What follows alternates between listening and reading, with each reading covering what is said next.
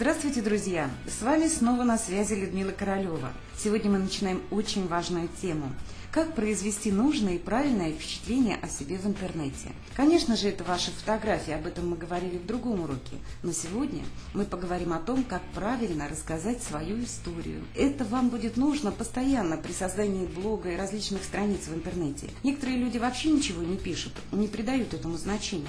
А некоторые пишут длиннющие истории со всеми подробностями, которые никому не интересны.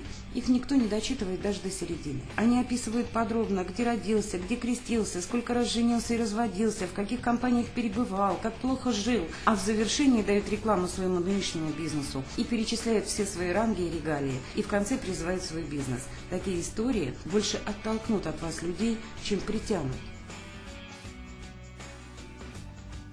Друзья, запомните – Ваша история должна вызвать эмоциональный отклик, притянуть к вам вашу целевую аудиторию.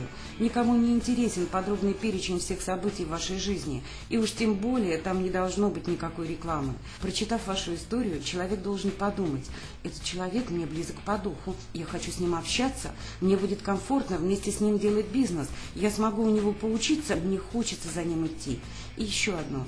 История не должна быть длинной, в 10-30 строк не более. Такая, чтобы если вы ее рассказываете, она прозвучала не более 30-60 секунд. Это из разряда презентации в лифте. Что это значит?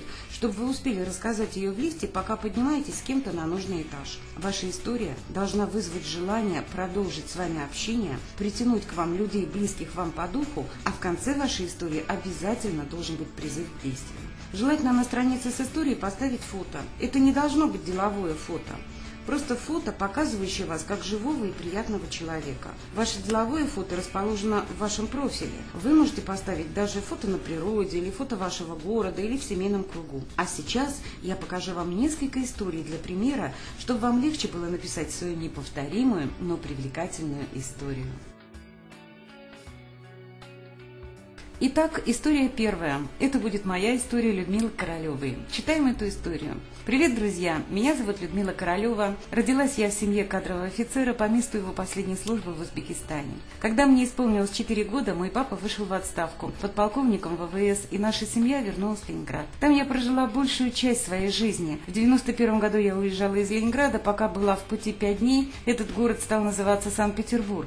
Обожаю этот город, мечтаю сделать о нем фильм. Последние 20 20 лет живу в Израиле. Мой папа по призванию геолог, по жизни военный. Моя мама по призванию певица, по образованию зубной врач и по жизни директор книжного магазина. Я по призванию дизайнер, по образованию экономист, по жизни деловая женщина. В 2000 году вышла на просторы интернета. Последние несколько лет занимаюсь бизнесом через интернет. Вот так кратенько обо мне. Но скоро я напишу здесь о своей жизненной философии и сделаю интервью самой собой. Вы всегда можете связаться со мной напрямую, с радостью пообщаюсь. Видите, здесь в этой истории выдержаны все правила и дан такой эмоциональный отклик, и люди, которые близки мне по духу, они, естественно, ко мне обратятся. И видите, фотография в прекрасном красивом месте, недалеко от горы Менгида, очень красивое, замечательное место, вызывает вот эта вот история, ну, такое к задушевному общению, хочется с таким человеком общаться. Кстати, в конце истории можете вот так же указать свои реквизиты, как это сделала я. Давайте перейдем ко второй истории.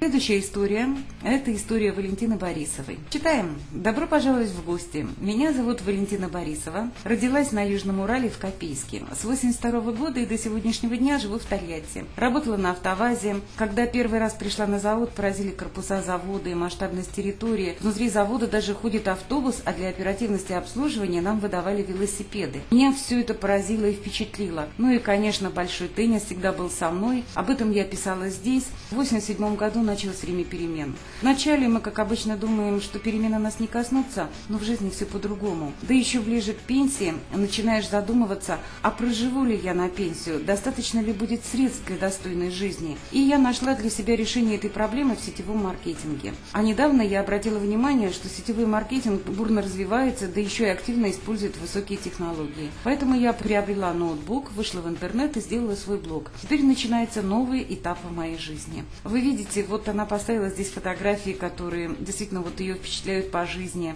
поделилась какими-то своими вещами, передала эмоции. Нету никакого негатива, вот как обычно люди пишут, ой, так стало все плохо. Она просто написала, что стала задумываться, пришли перемены, и она отреагировала на эти перемены и сделала новый шаг в своей жизни.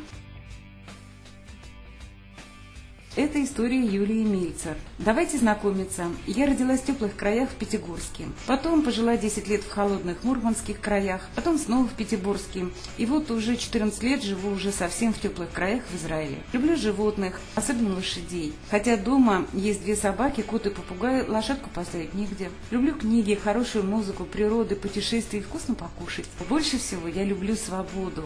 И теперь я нашла способ, как быть свободной во всем. Я не жадная, если захотите, я с вами поделюсь этим способом. Вы видите, замечательная фотография вот э, в очень интересном месте. Есть у нас такой сад орхидей в Израиле. И она написала о том, что она любит, где она жила, и как она видит себя в будущей жизни, призывает к общению с собой. История Ады Хрущ. Здравствуй, дорогой читатель. Меня зовут Ада Хрущ. Родилась я на Украине. После окончания института по распределению попала в Туркмению, а последние 15 лет живу в Израиле. У меня два замечательных сына, которые живут уже совершенно самостоятельно. Я считаю себя счастливым человеком, потому что всегда дело, которым я занималась, приносило мне кайф. Сделала в своей жизни довольно удачную карьеру, увлекаюсь живописью, скульптурой, рукоделием, поделками из камня, дерева и различных металлов. Люблю маленьких детей и животных. Уже много лет занимаюсь бизнесом, не хочу ни на кого работать. Хочу сама руководить своей жизнью, что с успехом и делаю. С удовольствием помогая людям, которые тоже хотят жить так же, обрести уверенность в себе и добиться успеха. Несколько лет назад вышла на просторы интернета, много училась, конечно, были ошибки, но теперь я владела некоторыми методами ведения бизнеса через интернет, чем я хочу с вами поделиться. Я помогу вам научиться, что нужно делать, и самое главное, что ни в коем случае делать не надо. Буду очень рада, если мой опыт поможет вам в решении ваших мечтаний. Вы видите, Видите, следующая история. Фотография, она была на замечательной выставке. Вот вы видите здесь на этой фотографии сзади Пизанская башня. А вы знаете, друзья, что это выставка песчаных скульптур, и башня сделана из песка. Вот тоже такая интересная фотография. Она рассказала о своей семье, рассказала, чем увлекается, как решила для себя жить и предложила вам свою помощь. История Татьяны Прокопенко. Приветствую вас на моем блоге. Расскажу немножко о себе. Я родилась на Украине, в Донецке уже 10 лет, а мы с семьей живем в Израиле. Моя семья, мои дети – это для меня все. И у меня трое детей. Я хочу, чтобы мои дети жили не той жизнью, которую они могут себе позволить, а той, которой они хотят жить. Когда-то я работала на хорошо оплачиваемой, но невыносимо скучной работе от звонка до звонка. И она меня раздражала. Я очень свободолюбивый человек, я люблю заниматься детьми и творчеством, всякими интересными интересными вещами, но на это никогда не хватало времени, потому что надо было зарабатывать на жизнь. Когда мы переехали в Израиль, я решила больше никогда не буду работать на дядек, я буду жить свободной, независимой жизнью. Я много училась, читала, посещала разные тренинги, потом начала действовать. А свое решение я притворила в жизнь. Теперь я хочу поделиться с вами своим опытом. Если вы тоже приняли для себя такое решение, я буду очень рада, если вам пригодятся мои советы. Вот тоже история, которая полностью отвечает всем этим канонам. Чуть-чуть о себе, где жила, где сейчас живет, о семье, да, так совершенно кратко, что не нравилось вообще на работе, почему решила заниматься бизнесом. Действительно, вот она пишет о том, что она училась, и тоже рада поделиться и призывает вас вот брать ее советы. И вы видите фотографии, она сидит, отдыхает в очень хорошем отеле в Тель-Авиве, вот мы там вместе тоже были на одном интересном мероприятии.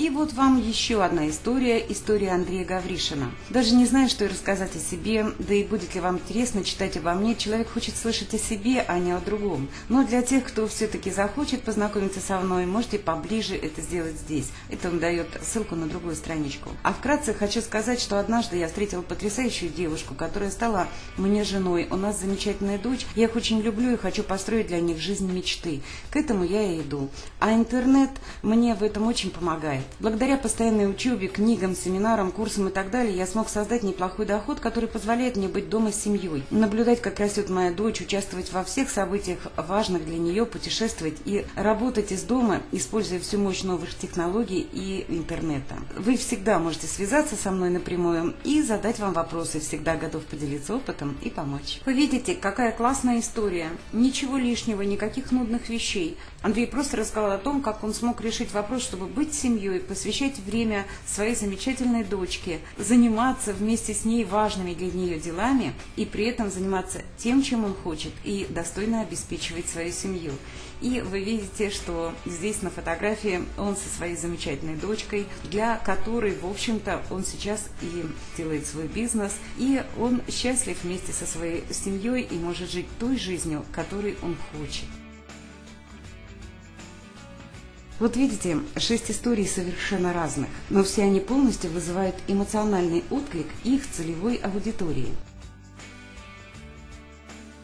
Я приготовила для вас шпаргалку, примерный план вашей истории. Напишите, как вас зовут, ваше имя и фамилия, где вы жили раньше, в какой стране, где живете сейчас, чем увлекаетесь, что любите, кто вы по профессии, чем занимались, о чем мечтали, к чему стремились, в чем себя сегодня нашли? И что вы это все время искали. И закончите тем, что вы рады поделиться своим опытом и быть полезным. Теперь напишите свою историю, используя этот план.